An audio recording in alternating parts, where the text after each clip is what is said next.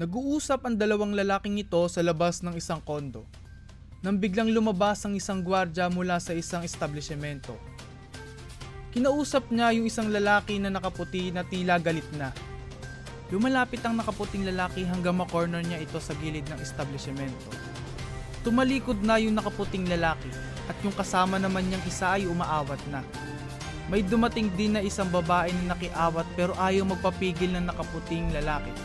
At ilang beses dinuro-duro ang gwardya hanggang makorner ulit ito sa gilid. Habang patuloy lang sa pag-awat ang isang babae at lalaki, maya-maya pa ay lumayo na ang isang lalaking nakaputi.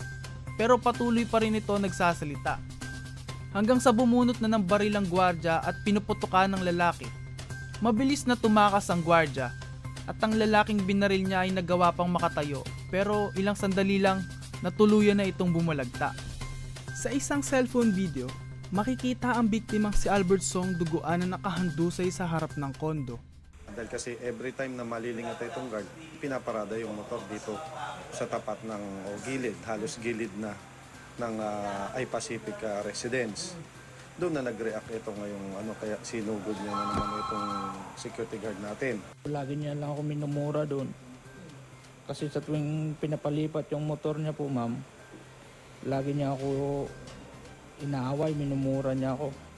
Dinuduro niya kasi ako, tapos ulit-ulit niya akong minumura, tapos suntok na po ako. Sabi niya ako, duwag ka, duwag ka. Kung matapang ka, bunutin mo yung baril mo, iputok mo, Ano naman ang mga opinyon ng mga netizens tungkol sa pangyayaring ito? dapat bilang gwardiya, mahaba dapat ang pasensya. Kasi gwardiya is, uh, is uh, para silang turista. Wala, mahaba yung uh, pasensya pagdating sa mga ganun. bilang security guard, kailangan meron siyang pasensya ah, at saka kailangan alam niya na kapag ginanon siya, mag-reklamo na lang siya. Hindi yung mamamaling na lang siya bigla.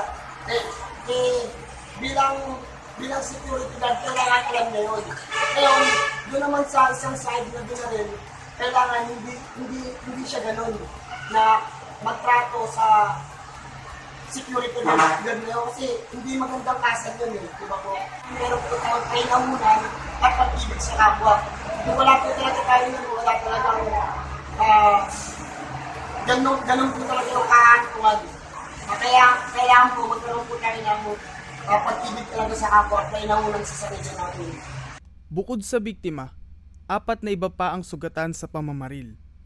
Kaya't nahaharap sa kasong murder, serious physical injury, at physical injury ang suspect.